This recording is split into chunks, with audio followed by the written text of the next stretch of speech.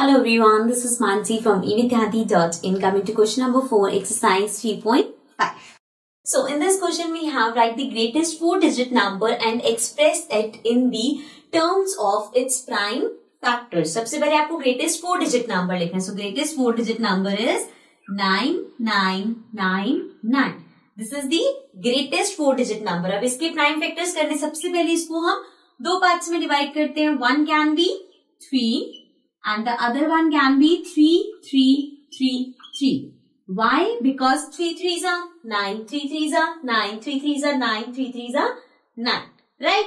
Next हमारे पास है अब हमें इसको आगे एक्सपैंड करना है तो इसको आगे एक्सपैंड करने की अगेन एक और इजी वे है दिस इज़ थ्री अगर मैं थ्री को मल्टीप्लाई करूँ वन वन वन वन से सो थ्री वन सा थ्री थ्री वन सा थ्री थ्री वन सा थ्री थ्री वन सा थ्री राइट देन अब बचा ये आगे इलेवन इलेवन इसको आगे एक्सपैंड करने के लिए I can write it as eleven eleven को if I multiply by one zero one so this will be one one one one अब इनको फर्दर हम नहीं कर सकते डिवाइड तो वी लीव इट हियर तो इसके फैक्टर्स आ गए three then three three three three then three then one one one one then eleven and one zero one Okay, so this was question number four. Now let's come to the next question.